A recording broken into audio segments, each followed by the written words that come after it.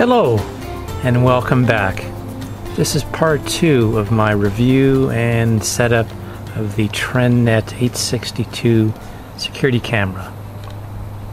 If you missed part one, click on the link at the bottom of the screen and it'll take you back there and you can take a look at part one.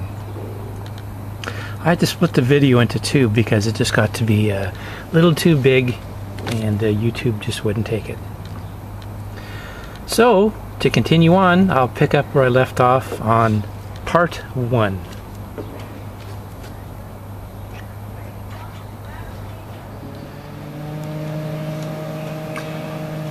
Okay, my camera is powered up. The blue light is on. I shall proceed. Connect the network cable.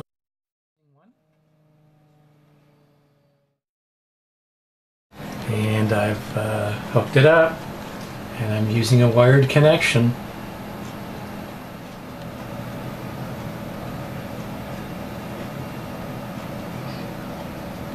There we go. So so it has found the camera.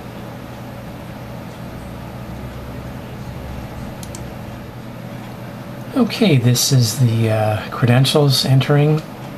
So you want to uh, change password. I already have one entered in. So to need something from uh, between 8 and 16 characters. So I've already entered in my new password here.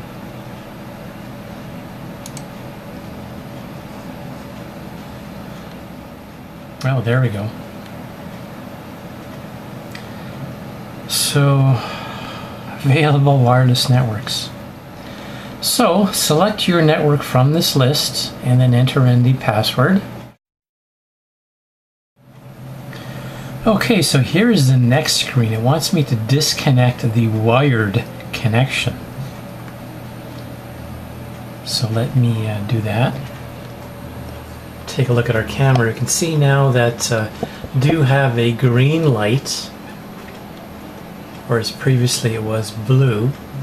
So let me disconnect See if I can do this with one hand. I don't think so.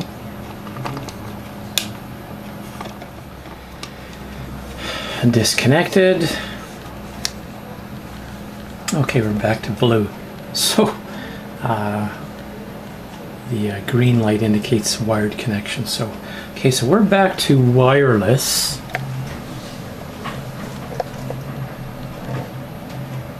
Click on next.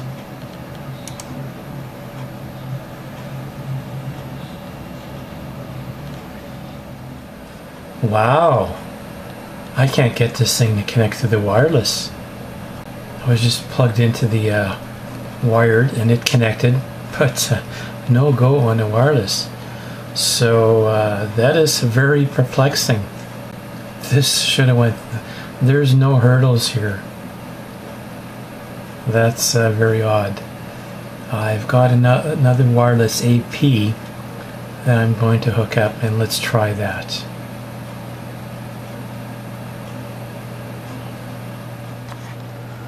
Finally! Actually, uh, you're looking at another workstation here. This is a laptop. I'm on the other uh, wireless AP. It's a totally different unit. And I was getting the same results. And uh, what I did was just uh, retry and retry. And finally, I was able to get to this screen. So, man, oh man, uh, lots of difficulties with this wireless setup. So uh, I've got at least, you know, a step further is this it? I don't know. Let's just go next. So I'm going to click the icon here to create a desktop item. Shortcut. Got that. Let's go on the next here. And here's where you can uh, get your app from uh, Apple or Android. I've already got mine installed on my uh, Android device. So let's go finish. Well, there we have it. We've got some uh, video, but uh, disappointing on the setup. Uh, I'm using Internet Explorer here now. I was unable to uh, get my Firefox to operate. So I would get uh, no video coming through. I was running a, a, very early version of Firefox. I'm sure if I load the latest and greatest, that might give me some better results. But to use uh, Internet Explorer here. I'm uh, just going to fire up my phone and uh, see how the app works there. Okay, I'm back to where we started. I've got the camera set up here, just peeking out the back door here. And I am running wireless, so there's no cable hooked up. I uh, do have my uh, smartphone here. My application is already installed, the TrendNet Cloud View. I've got it configured. Just launch it.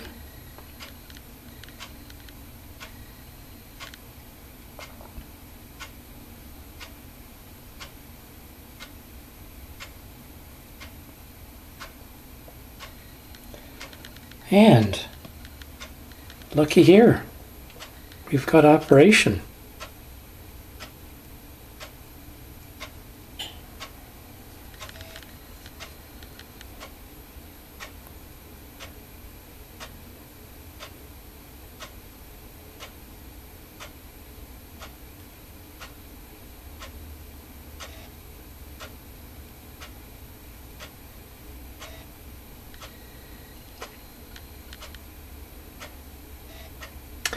Well, there you have it. I've uh, found that uh, when this gets into a low light condition, uh, it turns off the color and just have uh, black and white. But uh, there we have it. This thing is installed. Not without its difficulties, though. I'd have to say I still got some wireless issues here that uh, on my other wireless AP I couldn't get this to work, but I'll have to go back to that one.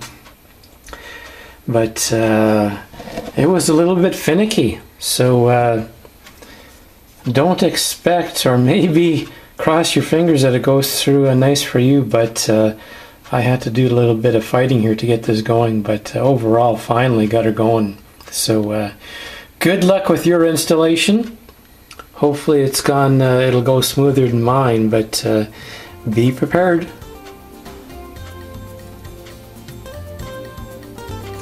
Thanks for watching. See ya.